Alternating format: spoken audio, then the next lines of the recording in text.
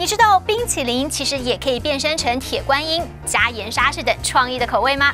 在饶河夜市里面呐，就有一间意式首创冰淇淋，把平常相当少见的口味加到了冰淇淋里头，创造出许多让人意想不到的新滋味哦。三二一，Action！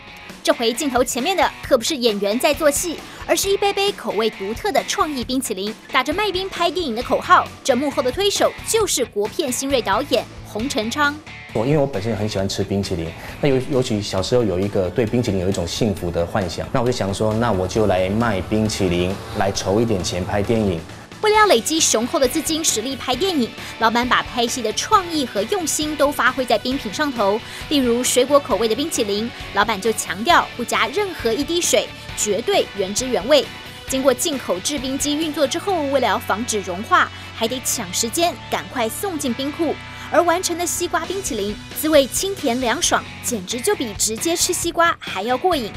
就很清爽，然后很香甜，就是很适合夏天吃，就是很清爽。就像在喝西瓜汁一样。不过冰淇淋好吃还不够，洪成昌了解要做出市场区隔性，还要有特殊口味来加持。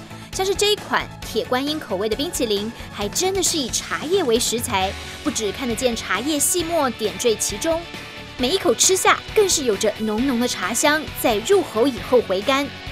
炎炎夏日，想要知道哪里还有好吃又消暑的冰品吗？